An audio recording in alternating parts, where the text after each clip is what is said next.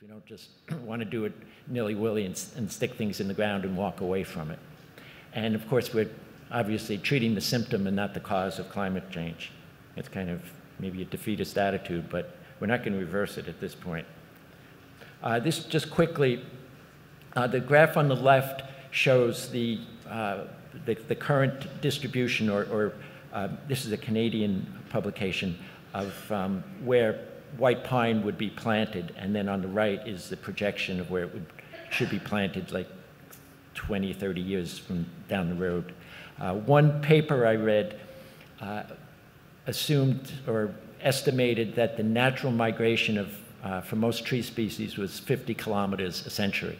And we're looking at at least 10 times that is needed. Actually, if you do the math, I think it comes out to 12 times the, the, the speed that would be needed. So that just points to the obvious that it's unlikely most of these tree species are going to be able to move on their own.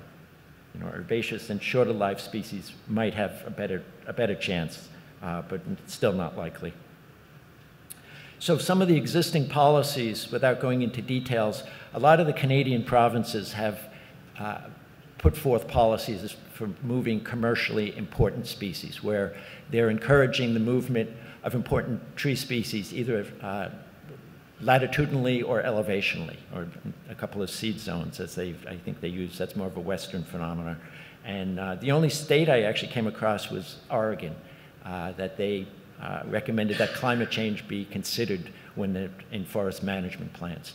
And most recently, I've been contacted a couple times by the state of Minnesota, who's apparently working on a policy, and they've been, uh, they've been asking us for, for uh, input on that, which is uh, kind of flattering, but I don't really have much to tell them. uh, so, getting to the nitty gritty here, the Vermont guidelines, we, we came up with a five tiered approach. And again, these are just guidelines. There's nothing mandatory here. It's not, it's not even a, uh, a policy.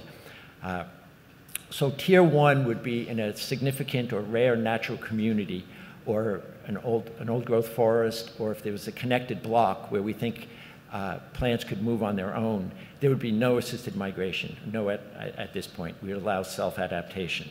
Uh, tier two would be uh, moving plants or seeds within their current range using local stock. So it would be essentially planting, um, say like red oak at the, uh, maybe in south-facing slopes at the extreme northern edge of their range, like up in the Northeast Kingdom, where they might do well in the next 10, 20, 30, 50 years.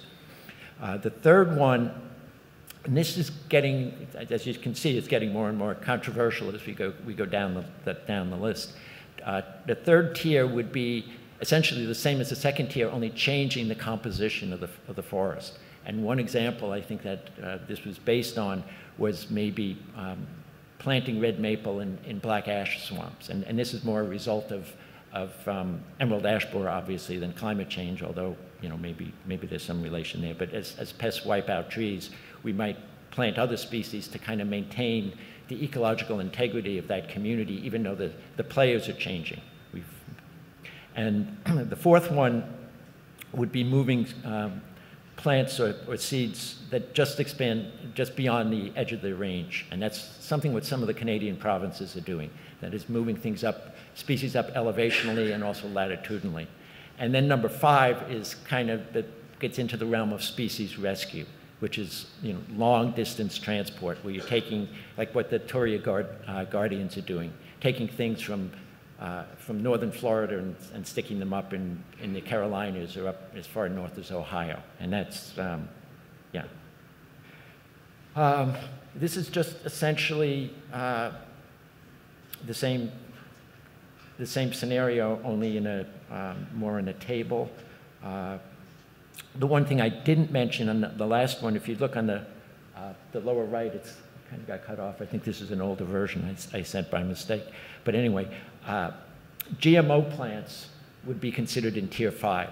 And uh, clearly what I'm thinking of is American chestnut. If there's GMO chestnuts, we would be, um, we would treat that as something we'd want to look at very, very carefully. And that would need to be uh, vetted within, within the agency, within the, uh, it's something you know, the Endangered Species Committee might look at, as, as well as a number of other groups. It's not something we would consider lightly. And then uh, lastly, I just wanted to touch on, this is a policy that the New England Plant Conservation Program put together. And just quickly, a little bit of background. Uh, New England Plant Conservation is a consortium of all the state heritage programs in New England, so all the state botanists, if you will, uh, uh, members from academia, and I think most of the federal agencies are, um, are represented, the Forest Service, um, U.S. Fish and Wildlife Service as well. So it's, it's a, a lot of, um, a lot of botanical expertise. And they came up with this, um, this three-tiered approach towards assisted migration. And that is that it's a tool that should be considered on a case-by-case -case basis. We shouldn't just dismiss it as, no, we're not doing that. We should look at each, each one, each possible scenario. And that uh, the second tier would be, the second um, prop or condition would be that New England endemics should be the ones, should have the highest priority. And that's, that's pretty intuitive that we would want to um, focus on things that are endemic to New England and that ones that are more vulnerable to climate change. And then the third one is maybe not as obvious, that we here in New England don't have a lot of endemic plants. I mean, we're in the glaciated Northeast uh, compared to, say, the Appalachians. So we're much more likely to be recipients and not donors. And that's something to keep in mind. It's more likely people are going to be coming to us and say, hey, can we move some of these plants to you rather than us moving them north? Uh, so I just want to finish with a quick dis uh, disclaimer uh, in case anybody got the wrong impression. Um, ANR, Natural Resources Agency, is, is not by any way um, advocating assisted migration. But that said, I think it's important, we think it's important that the discussion uh, occur and that we, be, we consider this at least as a potential tool uh, and you know, look at it on a case-by-case -case basis. And you know, nobody knows quite how bad this is going to be. Um, I mean, the one, the one neat side of, of climate change, if, I mean, if I can go there, is that it's sort of an exciting time to be an ecologist because nothing has ever happened like this before. And you know, we're going to be able to see things that normally happen in geologic time in our lifetimes. And that's, I mean, it's scary, but it's kind of, it's kind of exciting too. So thank you.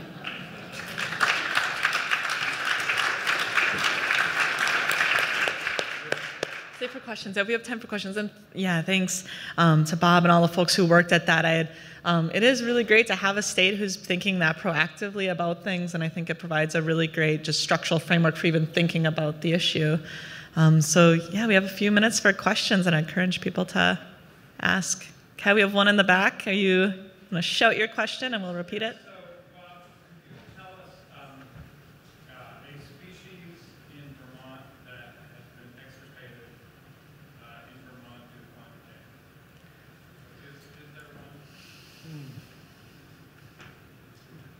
Uh, good question, John. Uh, you should have asked me this beforehand, so I had a minute to think about it. We have had extirpations in Vermont. There's um, a species of milk vetch, um, Astragalus robbinsii variety robbinsii, that was at Winooski Falls, but that was due to a dam construction and flooding. Um, I guess I can't think of a species that has been extirpated. Uh, it may have been part of it. I, I would say maybe deer browse is, is maybe a bigger factor. Uh, I mean, it, it's probably a multiple number of reasons for calypso, but I would say herbivory is probably the bigger culprit in that case, but nobody's really studied it. Um, it, may, it may be too soon. Uh, I think maybe we've had some local extirpations of populations, and some, there's a, um, uh, a, a, species, the anemone multifida, the um, sorry, I'm spacing out on the common name, you'll have to forgive me, that occurs only at, um, on, on, the Winooski River. And uh, Jerry Jenkins, who may or may not be here, has been monitoring that for years, and the population is declining big time. And what he thinks, and he's been studying this pretty closely, is that it's just not getting the recruitment because it gets these, it gets these dry years and it kind of knocks the plants back and they're just not able to recover. So the plants, they're going along and then they get hit with a really dry summer that none of the seedlings can survive. And then it, it plateaus for a couple of years, and then you get another dry summer and it drops again. So that's kind of climate change um, induced, but it's still hanging on. Go ahead. just because, well, for, I'm talking about species rescue, for species that are going to go extinct. We don't have a lot of endemics in Vermont and in New England. And the Smokies have, you know, you look at the number of endemic plants in the Smokies where you haven't had glaciation, so the, you know, speciation has had a lot more time to occur. That, that's the only reason. Yeah, Mark? So you, you mentioned, you mentioned GMOs. I know the Canadians have been working on GMOs for productivity of forests and for important commercial trees. Is any of that happening south of us? Anybody know? You might, others in Maria might know, but Yeah. timber species that are, that the US researchers have been working on? I don't know. No, that's, sounds like a question for somebody else. I, I don't know of any offhand. Um, there is one particular, yeah, I don't know of any offhand. hmm I think there were a few in the back. Yeah, Ken? Um, I'm wondering, this is a little bit off topic, but um, instead of thinking about species rescue, as is NEPCoP thinking about circling the wagons around significant areas, for example, red spruce habitat that provides real good um, biological diversity and is very environmentally healthy right now, and accelerating the growth of, you know, understory spruce through management actions to create greater resiliency, to increase the longevity of that habitat. Maybe even planting purple edges to create a buffer. Yeah, good question, Ken. Uh, I guess the short answer to that is when does it start becoming gardening? You know, if it's if you're going to have to do management in perpetuity, it's like it, it becomes sort of like gardening. I mean, I can see doing that in the short term just to kind of maintain, you know, so species. Obviously, it's it's much preferable to extinction, but in the long term, I mean, we can't be creating little rare plant gardens all around, you know, the Northeast. Um, it's just not logistically possible, I don't think. I mean, in a few, you know, you know, a few instances, I think it would work. I mean, I think we should try to keep Mount Mansfield, you know, as, as alpine as long as we can, but at some point, it's maybe futile. There was one question in the back. Yeah, we have time for one more. I may have missed it, but I'm wondering about the role of the triathlon, the idea of ecological reserves, light on the land, and intensively managed. I didn't hear that addressed. The importance of having a fairly significant fraction of the landscape be left alone as a, as a, uh, as just a, as an ecological reserve. That's one question. Then the second question would be, is ANR thinking about its role in the, uh, uh, providing the function of ecological reserve?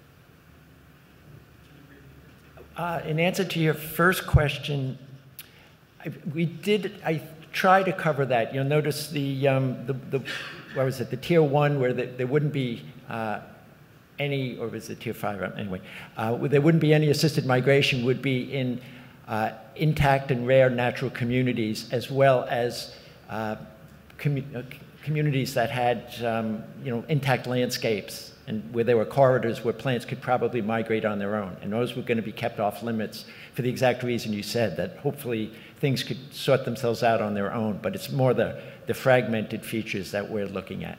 Um, I think I'm going to pass on your second question because uh, there's people here that are more familiar with, that than I am. In fact, I think there's a talk this afternoon on Vermont conservation design, and they're going to actually talk on that, that very thing about setting aside uh, ecological reserves in the state. Thank you.